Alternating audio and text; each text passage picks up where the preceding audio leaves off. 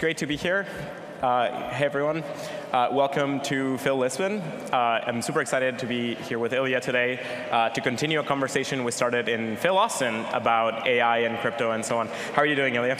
I'm doing good. Yeah, thanks for inviting me here. Yeah, uh, great to have you. So let's dive into it. Like, um, you know, a lot of the people in the crypto community um, are not as familiar with AI and what's been going on and so on. Can you maybe describe like what's been happening the, over the last five years? Like, what's why is it suddenly exploding?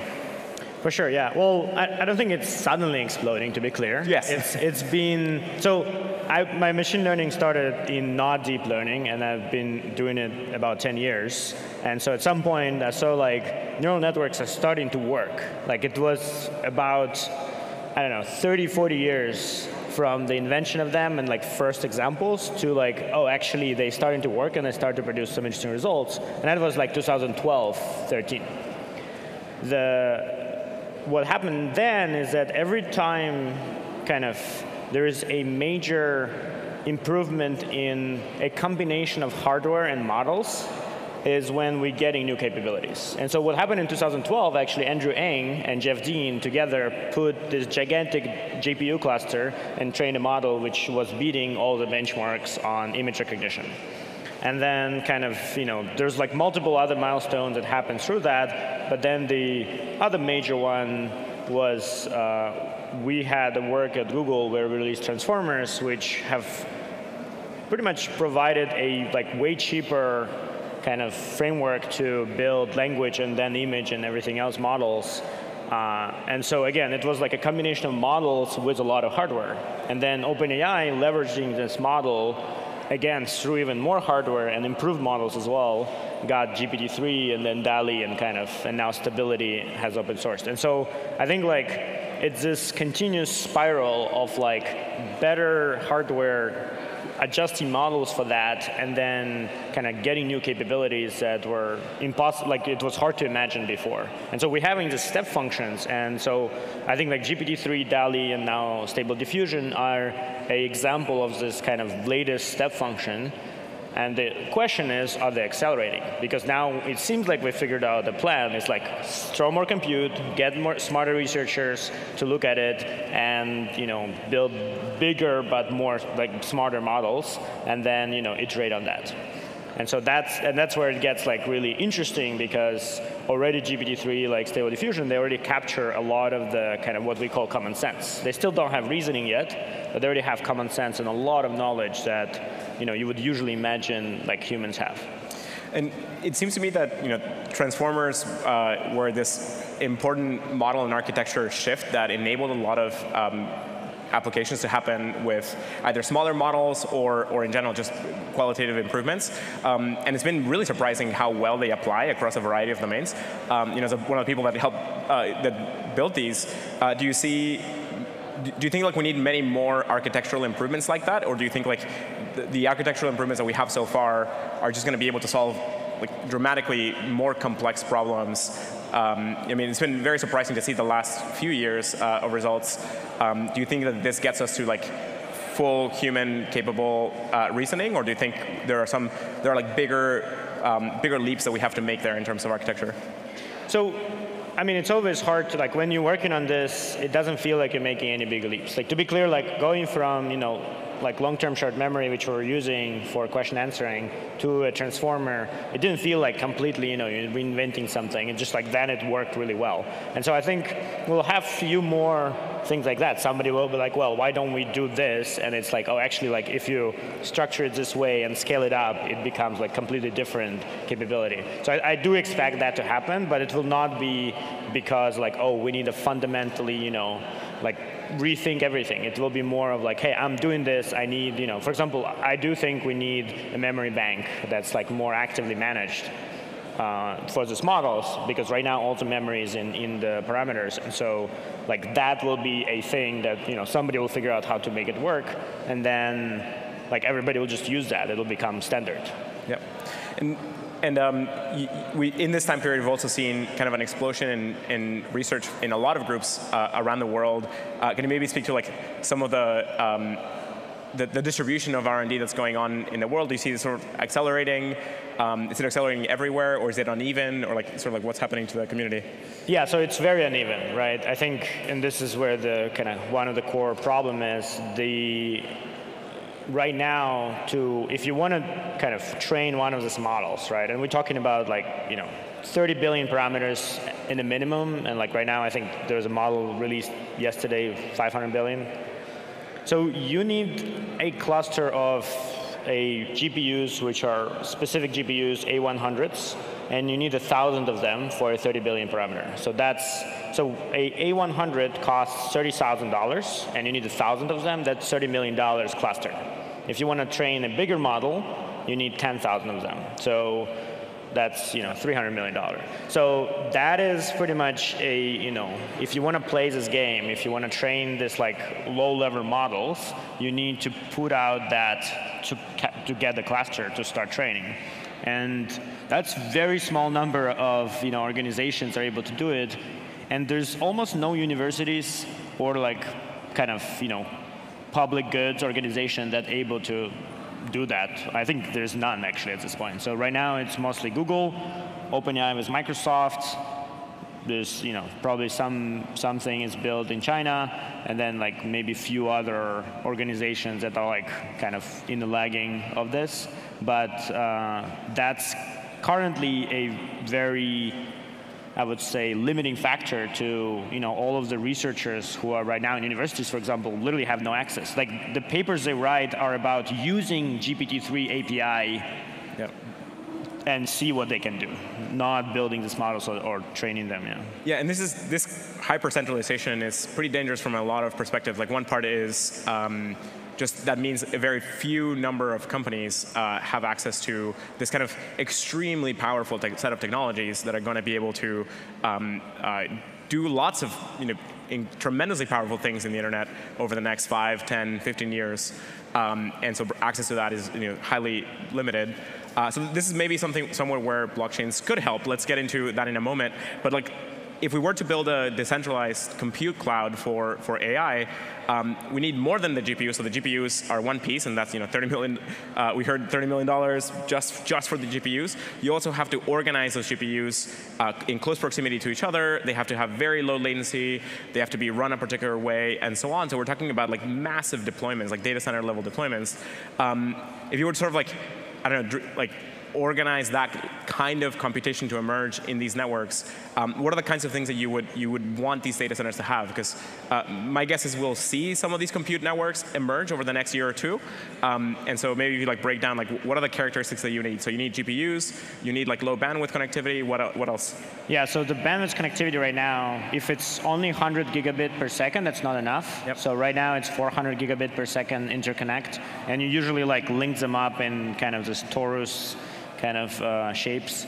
And so, yeah, I mean, it's, it's a very like specific setup. So there's a lot of people trying to build custom hardware for those things, right? I mean, Google has TPUs, Tesla is building their own version for different use case. And so there's like a lot of experiments in this. And I think where blockchain and like we've seen come in is where if you set up the problem right way, you can actually incentivize people to figure out a the most energy efficient solution, right? The most cost efficient solution to to uh, you know solve this problem. Right? I think like Bitcoin miners is probably the most optimized way to compute the SHA-256, right, on that specific bytes that you can have. And so the question pretty much here and, and why it's challenging is because the models continue innovating, and so the specific shape of the problem continues changing, and specifically the ways you parallelize, like there's, for example, a mixture of experts idea that came in a bit later after transformers, but you know, a lot, like it scales up the model,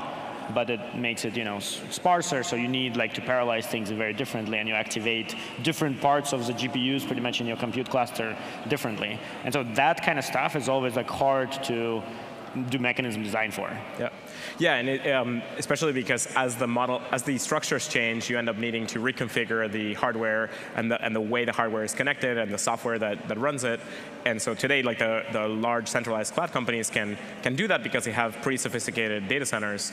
Um, and so we, if we want decentralized networks to to be able to compete, then we're, we're going to need to be able to have that, that degree of um, you know, amount of hardware and connectivity in one place, but also the ability to reconfigure it on, as the advances change, as the models change, and, and so on. Um, and if you were to sort of like design the incentives that causes this kind of network to emerge, like in the Filecoin network, we've had a lot of success with um, just talking about adding capacity and then also bringing significant useful storage into the network, and that has scaled out. You know, 16 exabytes of capacity is an enormous amount. We're at, at about like almost 250 petabytes of data, but getting to that different type of upgrading, um, that's a much harder challenge. And so what would be the sort of like what do you think is like the, the, the, smallest reasonable cluster size where you could say, okay, great, like now we, we're in business, we could have something, um, we can start training models like this. Like, would you imagine kind of like five um, deployments, each of which, you know, is like a 30 to 50 million dollar investment in terms of GPUs and so on? Or do you think more is needed? Do you think like we need to scale out to like have a larger network than that, or, or each deployment being larger?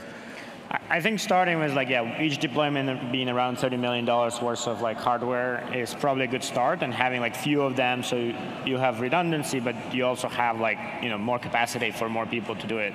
And I think the question here will be the people who actually can use this. They have no money, right? So like they, they, you need to borrow the value from the future in a way to give them this capacity and availability.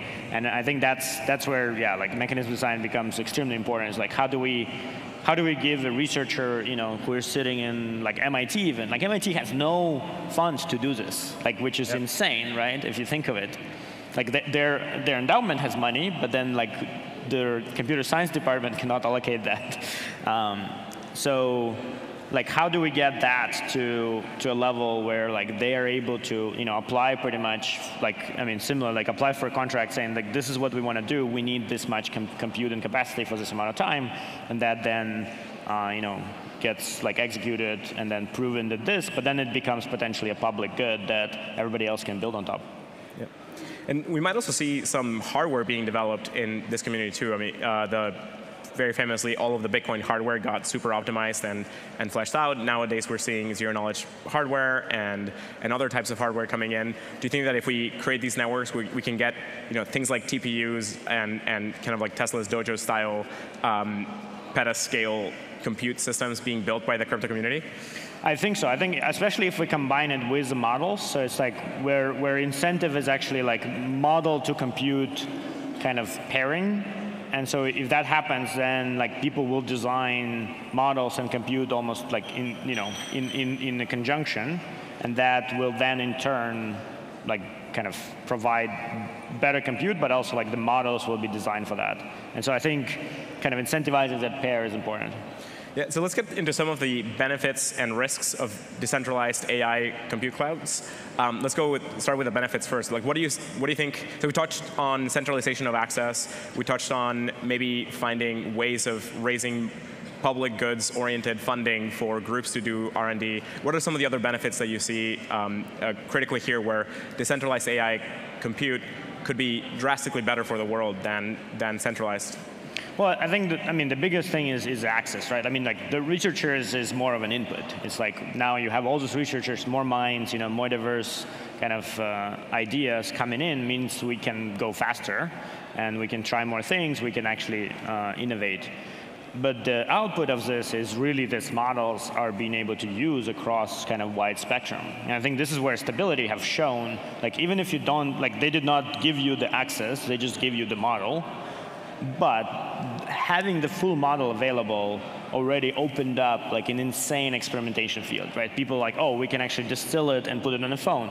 We can, you know, do videos with it. We can do this, like, and so they just the it opens up the application level innovation, which you know, not always like when researchers are working on it are thinking, but but just like these capabilities now are so kind of unique and strong that they you know can change like how we experience web, how we experience you know entertainment and content, like everything uh, kind of how world is organized in a way, right? And so I think that's that's a truly the benefits, which is like if it's just served to you via API or you know through like Google search bar, like it is powerful, but it's not it's not opening up this kind of kind of composable yeah. uh, innovation that we and we see that in blockchain as like an example of it. Yeah.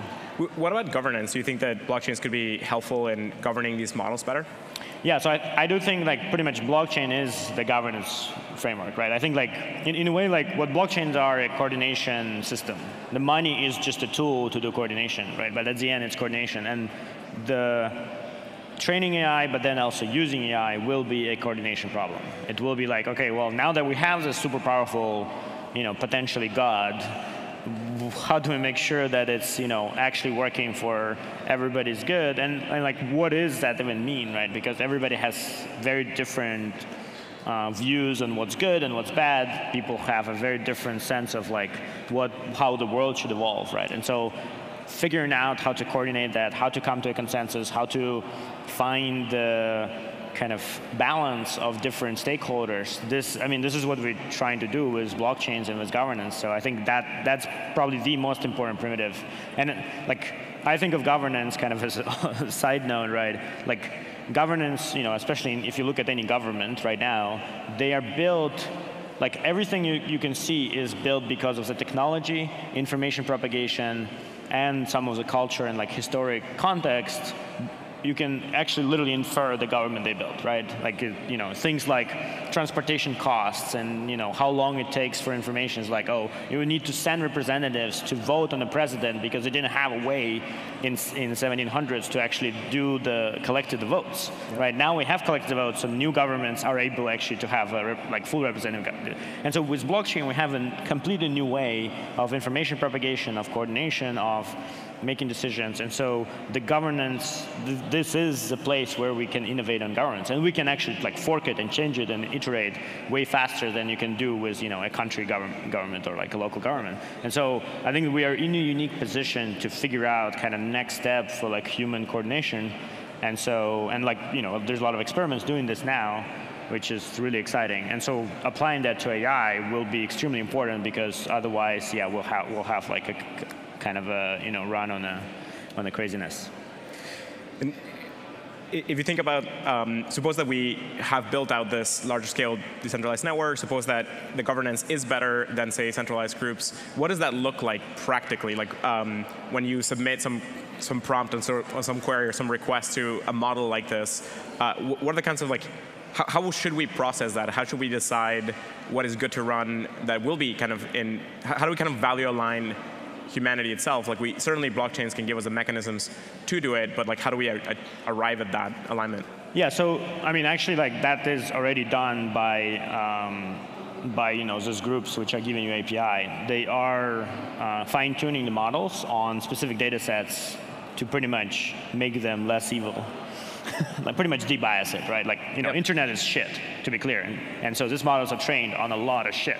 And so like you need to debias the models to like promote you know, that, like inform, information-rich content and not like kind of general bad stuff. And so, so I think the idea here will be to curate registries of you know, what's kind of positive and, and, and negative examples, let's just say, right? So like, you know, things that should not be promoted, things that should not be kind of uh, in, in the model's output, and so curate that list through this governance. So it's not going to be like every prompt, you know, you have the thing. It's more like as there is a pattern that, you know, a community agrees as a whole that should not be like surfaced. Like how do we kind of train the model to not showcase that? And so like there's already methods to do that. We just don't have the curation mechanism. Right now it's, you know, people at one of those organizations individually deciding like, oh, we're going to add some stuff to this model.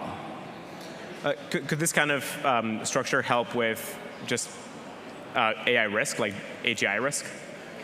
I, I mean, I think it's definitely in the direction. I think we'll, we probably will need more research on how to truly kind of direct these models in general, right? Like, it's probably not just fine tuning. It's maybe like a, you know, like one of the one of the kind of research right now in, in, in psychology actually around consciousness is that you have pretty much like your subconscious kind of generates stuff and then you have the conscious is more of a discriminator which kind of like both tries to like filter that and then tries to explain it to itself like why did you come up with that?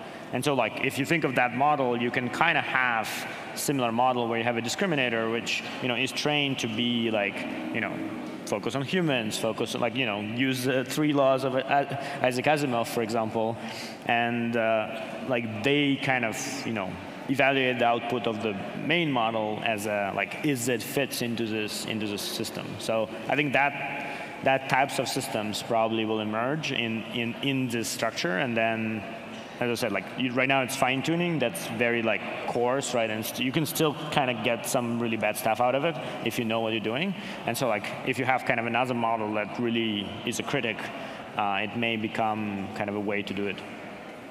Um, so now that we've covered a bunch of the benefits, let's talk about the risks of decentralized AI systems. What, are, what is the potential, what are the dangers that we should be avoiding and building against, right? So um, there are many naive ways of deploying these things that could be pretty dangerous. Let's kind of like unpack that a bit. Like what, what should we be avoiding?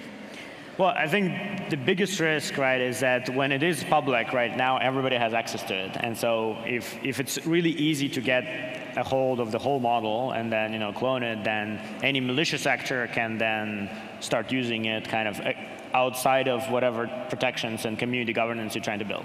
And that's probably the kind of biggest risk. And like, how do you, how do you protect against that is, is quite complicated, right? And I don't think we still have we yet to have like tools to do that well, right? I mean, like zero knowledge is way too expensive and like literally not usable for AI. I mean, there's like a small field of ZK ML that's emerging, but like the just compute costs are insane, right? Even like SGX, which a lot of people were hoping would work, like the reality is you need this like massive compute. So like you, SGX is like a single pass on a CPU, right? So you just cannot use that. And so I think that's where like one of the bigger problems, like are we you know replicating the like in such a way that nobody can restore? Like do we use homomorphic things? Do we like use uh, machine learning tools to do replication in such a way that like none of the single observer can able to fetch it? Like how do we how do we kind of incentivize? And also somebody can go and bribe everyone in this network, right, to just get all the data. So uh, so I think that's that's a really interesting question.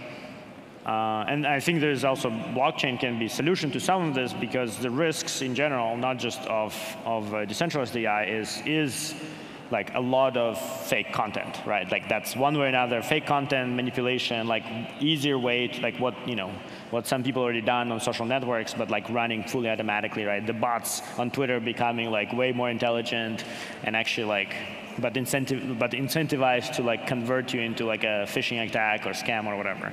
And so I think that's that's a part where like we can actually start protecting using blockchain because blockchain is also your authentication layer. It's your way to like ensure that the content is has a provenance and has you know somebody signed it when they sent it and it came from the right people, right? And so and from right communities and you know you can have then like different levels of of uh, curation that different people like oh this is the people I know so look at this content oh okay this has been curated by somebody else I know and so you can have like curation networks and so I think the kind of Web3 is also a tool in general. Like I, I call it, you know, AI, AI will bring us a post-scarcity world, right? Like presumably when we have, you know, kind of very intelligent machines, we will not have natural scarcity. I mean, there may be some, you know, natural resources, but, um, and so what we need is we're going to need to go back to actually some artificial scarcity, and blockchain actually brings you back artificial scarcity, right? So like, how do we actually like ensure that there is there is scarcity of identity, there's scarcity of content, there's scarcity of communication? What sort of limitations do you think will be important early on? Because it seems to me that taking one of the latest large language models and just giving people um, just broad access to input whatever prompt especially if that thing is coupled to be able to issue its own transactions into blockchains or send email or whatever. Like that to me seems like super dangerous. How can we create a, a good, safe structure so that you know we, we can get like, a lot of the good without the bad? So like how, how would we kind of like screen the inputs, screen the requests, or screen the outputs to like decide like, oh yeah, this seems like a good set of actions that, that the world wants? But I, I don't think we can. I, I think like we, we cannot like say, oh, the model should not do this. Like that, that like somebody will figure out how to do it. Like if, even if even if you know like a large part of the world agrees, it's enough to have one actor who has enough cap capabilities to build that, to build a thing that will not agree. And so I think that's where, like, you know, if we're talking about emails, transactions, etc., this is where we need provenance. Like the fact that right now emails are not signed, cryptographically signed, and they, there's no like provenance on who you are is insane. To be yeah, clear, like totally. even at this moment, totally without AI. So I think like actually getting to a world where you know that Twitter should be signed. The you know the kind of all of those things should be like actually like with provenance and with with uh, with ways to like authenticate and authorize. And same with like if we're talking about you know taking photos and and kind of creating content, like all that should have a way to authorize and also to way to challenge it. There should be a way to say like, hey, this is fake news that doesn't represent facts. Here is a thing, and like you know, how do we surface that information then to the consumer as well? So I think that, like, we kind of need to solve that problem, honestly, even without AI. AI will just make this problem so, so, so much, like, more emerging right now. Because, like, you can literally right now seed full Twitter with fake content from GPT-3. Like, it, and it will look like it's kind of people are talking. Like, this is possible right now and will, nobody will be able to like just, I mean, especially on Twitter, like most of the Twitter tweets are, it looks like they're generated. Yep. So we'll be opening up for questions from the audience in a moment. Uh, there are two mics here in front, so feel free to uh, stand up and start making uh, some lines here. Um, I'll just ask two more questions we, before we go to go to your, yours.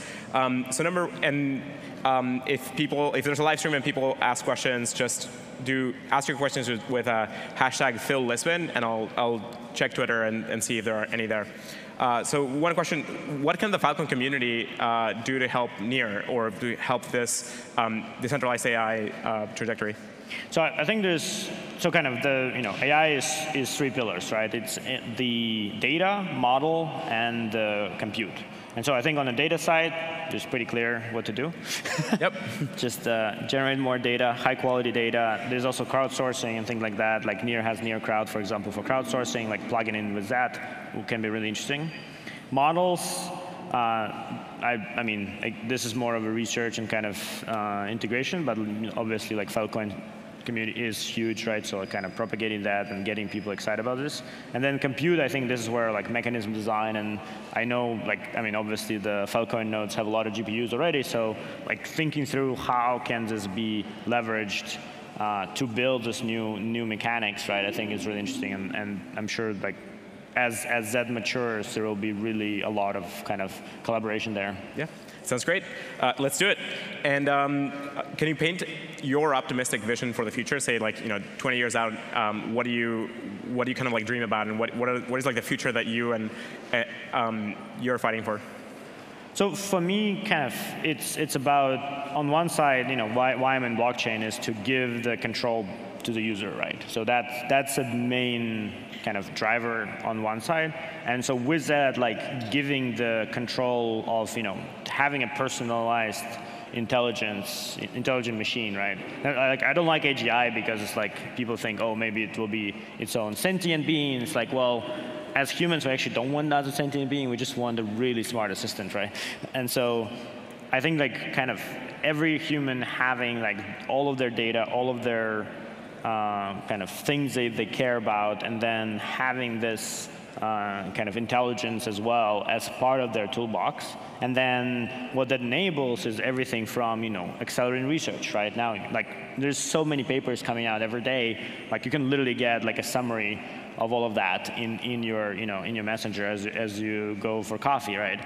It's you know understanding what you want and like generating content for you. And and it's really interesting because I think the entertainment will change because like you can already imagine a like you know let's say TikTok feed that's fully generated.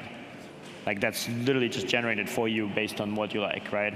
And so like things like that, I think will change and shift how, how we as humans kind of interact with the world. And so I think the other part that's important is still continue like figuring out how we socialize and how we connect to each other because if we all have like this kind of our own bubbles, it will be really hard to go out them. So I think like balancing, balancing act of these things is really important. And so like I think it's, it's really like advances in science, it's this idea that you are kind of, you know, as powerful as you can be, pretty much as smart as like smarter than any human in any field using these tools, and then at the same time, like you know, being able to connect with everyone and be able to you know be social and kind of interactive. So great, um, thanks.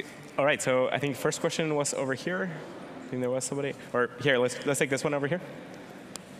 And please say your name uh, and then your question. Hi, my name is Sergey. Um, Illia, Juan, thank you for the great discussion. Extremely interesting. Uh, so what advantages do you see of decentralized system to solve this problem versus centralized? For example, AWS builds infrastructure and allows to borrow you know, compute uh, from them, for example. So I think the reality will be that it will be AWS and others who will build it. I think that the problem right now is that when they build it, they only give it access to a single company, right? They don't have motivation right now to give access. Like, there's no counterweight for them to like, oh, the you know we should open it up. It's right now like, you know, kind of the incentives are around like, okay, well, we'll have one client, one client will give us $50 million and we'll build a cluster for them. So I think the, like it's the same reason for, you know, Bitcoin miners. There's actually like, what, four major miners that mine like, you know, whatever, 75. I think six now because the, the bear market ended up like, yeah, yeah. It, but, but, but, like, but like, you know, overall, like it's, you know, there, there will be major players who will do most of the work and that's normal. Um, but the fact that you have an ability to kind of come in into the system and kind of open it up is is counterbalance, right? It's it's like with any competition. If you don't have any competition, then you you become a monopoly and you you know you you change how you do things. Versus if there is competition, like similar for Nvidia. Nvidia is charging thirty thousand dollars for this piece of hardware. Like, does it really cost thirty thousand dollars to produce? Maybe not. And you could actually enforce, um, with decentralized networks, you could actually enforce that the models and the compute is happening in different regions of the world. So you could get into um, jurisdictional uh, independence here by forcing a lot of the uh, AI clouds to be located in different jurisdictions. So. So, so we think it will drive competition, and competition will drive the cost down, basically. It, yeah, I mean, it's like making more available, cost less, and, and kind of, you know, keep everybody on their toes. Thank you. My name is John Seikerwijk, and I wanted to thank you guys for um, igniting the imagination again on this subject. That uh, you've you've touched a whole bunch of points that uh, I had never thought about till just a couple minutes ago, and I wanted to bounce a couple ideas off and see if it resonates, see if I uh, fully understand it. It, it sounds like you're talking about the, actually the democratization of AI, and if we think about IPFS and all the public data that's out there the quality of any AI system is based upon the quality of data that goes into it, the quantity of data, and the questions that are asked of the data. And it sounds like we've got a unique opportunity here to take data of opportunity that exists within IPFS and apply that with questions that if we think about how we verify statistics and looking at the right, uh, the same sets of data, two research and uh, two statisticians can look at the same data based on the questions that they're motivated to answer, but we can do this at the inference engine level and ask questions of these data sets so using AI as, their, as a sixth sense on large things. It sounds like what you're describing is a true opportunity to, to democratize the sixth sense of large data perceptions by being able to have composable infrastructure out there that can parse public data for ferret out nuggets of wisdom, of insight, of trend lines, of behaviors. And uh, rather than having to worry about locking it up behind a silo that exists in a uh, public cloud by a public company or, or, whatnot, we can democratize this. And I'm wondering if that idea resonates with, with what you've been saying. Uh, issues aside that we talked about with apprehension, this sounds like a real golden opportunity to, to democratize this for all of society, and it sounds wonderful.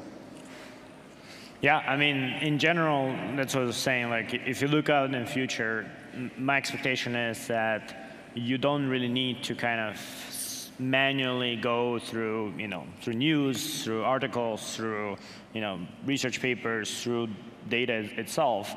It will be kind of, you know, you'll have the instrument to summarize all that into kind of your key points that you care about for specifically for you from all this, and like in not just public, but also your private data as well. And, and so kind of some of those things already happening right now. Like it's not, it's not even like, it's not science fiction. It's like you can actually ask some of these models to summarize news right now. You can, you know, people are training models that are actually can take unstructured, well, like structured, but like in completely random format data, right? Let's say medical data, and then restructure it and be able to answer questions to it kind of in a very specific, you know, the predetermined formats, like completely autonomously. And so like this kind of stuff is happening right now. Like, you know, there's like few startups I know that doing this kind of stuff. So generally like it is happening and it's just gonna kind of accelerate from this because the capabilities of these models show, as I said, is like reasoning is not yet, but this is what everybody's working on. And but the common sense is already there, and so ability to remap data, which is common sense, is already happening. And now people are training how to do reasoning and how to do inference and how to do kind of logical, you know, multiple steps and being able to explain why this, uh, you know, why this answer happened, like what is the reasons for it. And actually, like, there's a model that was published yesterday from Google, which like literally they trained it to explain itself. Like that was the kind of explain itself, then gives the answer. And so that It's pretty amazing that that result, that, that yields so much better results. Yeah.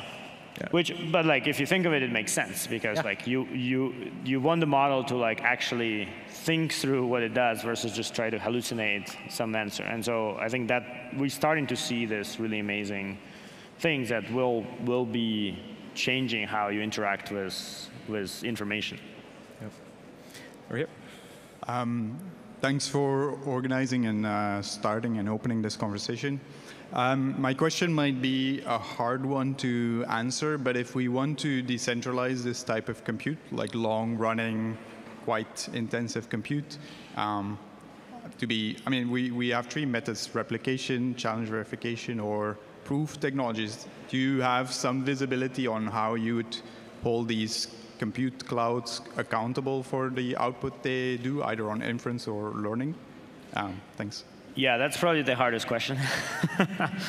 um, I think right now, right now, the way to do it is is is to figure out kind of if you train it on one of this, like how to uh, how to evaluate the quality that's kind of independent of the training. So like I would not expect that we will be able to train in a like in truly decentralized way just yet. So like it will be more of you know multiple centralized clusters that you can kind of leverage and then being able to evaluate the quality. And I think like because it will be centralized, it will be more accountable than you know like it will not be just you know somebody permissionlessly spinning up a machine. It will be like somewhat known entities. So I think that at this point we're here. Over time, there might be ways to figure out how to how to scale training and, digitization that doesn't require this like tight interconnectivity, but we're not there yet. I, th I think there is a, a, lot of potential in using crypto structures to make sure like the right inputs and the right outputs are being. Uh, so for whom? Um, cool. I don't know why. May, maybe it was this mic. Um, so it could be uh, we, we could be using some of the crypto um, constructions to be able to tell that the right prompts and the right inputs and the right outputs are, are, are being generated and then create hardware that checks for that provenance of the, of the inputs and so on to, to sort of end up with a much safer um, structure to invoking and using compute um, AI systems. Uh, any other questions? Hi. Hi, uh, my name is Gustavo. And uh, two years ago, when we have the ICO, was a boom of ICOs. And now in crypto space, two years, long time. And uh, I still wondering, what are the risks that Filecoin can be considered a security and what has been doing to Sorry, this this is a panel about AI systems, uh, so this is not the not the right place for a question like that. And this question has been asked by, uh, many times. So you can look up the answer online. Thank you.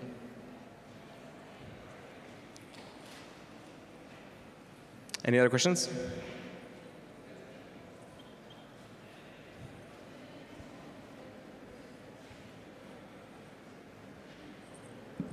Um, you talked about compute a lot, but one other topic on con convergence of AI and blockchain that interests me is how blockchain data, like public data that is available on blockchains, um, opens new capabilities as well for the AI. Because a lot of that information is currently closed within companies, corporations, and so on. But now we switch to a lot of decentralized applications where you can map wallet activity on different chains and so on.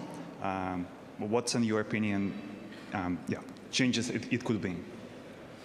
Yeah, so I have a, actually a very specific example. So let's say you go to Twitter and you see your feed and you have no idea why the hell it's at that feed and not any different feed, right? And so you complain about it on Twitter um, and nothing changes, right? So imagine that Twitter was on an open platform, so maybe it used some, you know, maybe decentralized storage protocol, some, you know, decentralized identity, and you can actually pick which ranking system you want to use because they all will be indexing and, and training on the same data, but they can be tuned for different results, right? Different users may want different ranking based on their preference. And so you can literally just, in your app config, select what, like, you know, somebody's like, oh, I found really cool ranker. You can pick it from here. It's like you just, you know, plug it in and start using. So kind of generally the idea is like now we can move away from like the recommendations, the uh, you know, kind of what, what you see and what, like, because all of that, like every single thing you see actually on your screen in a phone is running through a machine learning right now. Mm -hmm. And so like all of that can be now in your control. And it's because, like, if at least it's public data, you, the models can be trained.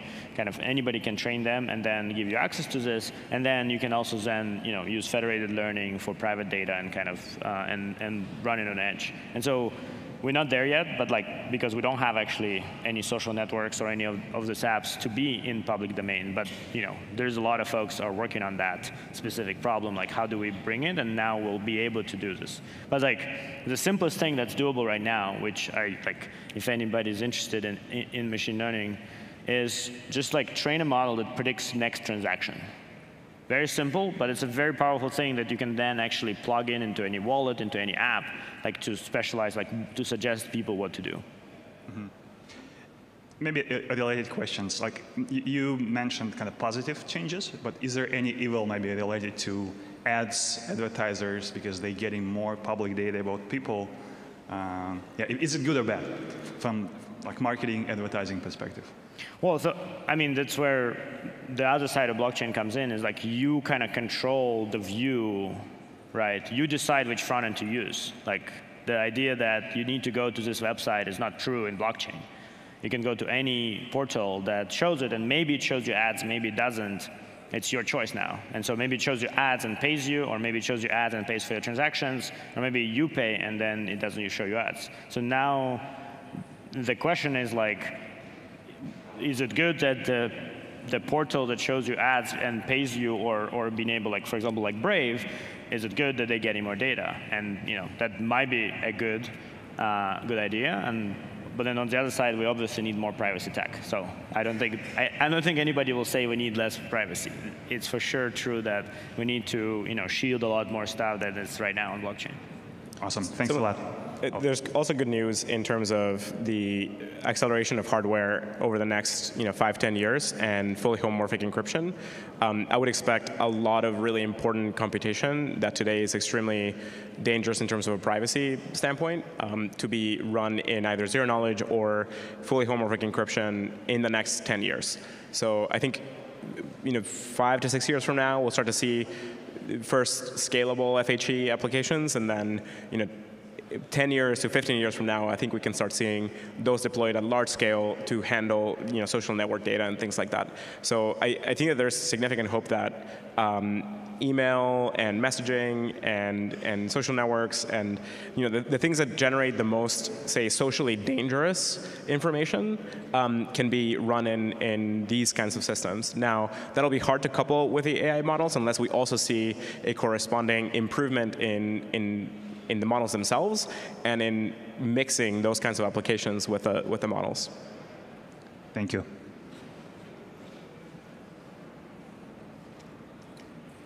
Cool. Well, um, I think that's it. Thank you so much for uh, uh, being with us and continuing the conversation. I think we'll see a lot of important improvements on this over um, next year and, and the year after that. And so I think um, we'll see large-scale decentralized compute networks for AI coming online sometime next year or the year after, and then a bunch of applications. So hopefully we can um, achieve all of the benefits that, that you talked about and uh, get prevent a bunch of the risks. So yeah, thank you very much.